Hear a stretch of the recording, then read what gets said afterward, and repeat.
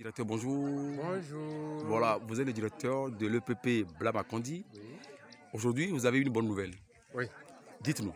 Oui, nous avons une bonne nouvelle. hein, parce que ce matin, vraiment, on a vu euh, les gens, les maçons, euh, avec euh, le maire, le député, le chef, arrivés à l'école.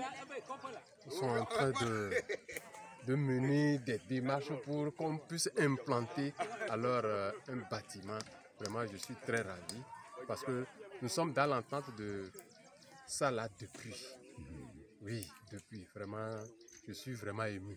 Ouais. Apparemment, vous n'avez pas de bâtiment. Ce que vous avez là, c'est qualifié de hangar. Comment est-ce que vous arrivez à travailler là-dedans?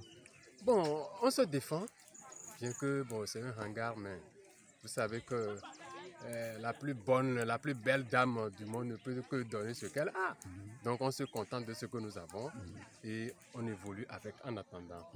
Voilà. Voilà, les législateurs de ce projet estiment que dans, dans un délai de deux mois et demi, vous, vous aurez un joyau pour, Oui. pour les, pour, pour les élèves. Oui, ça me fera plaisir même. Voilà. S'il peut précipiter même avant les deux mois là, bon, vraiment je serai au, top. Que- quelle sera la contribution des enseignants par rapport à la réalisation de ce projet? Oh, non, s'ils ont besoin de l'eau, nous sommes là. S'ils ont besoin de n'importe quoi pour mettre euh, au propre, nous, nous sommes là. Nous Si sommes vous avez là. un message, Non, euh, bon, il n'y a pas de message seulement. euh, juste pour remercier les donateurs de ce projet.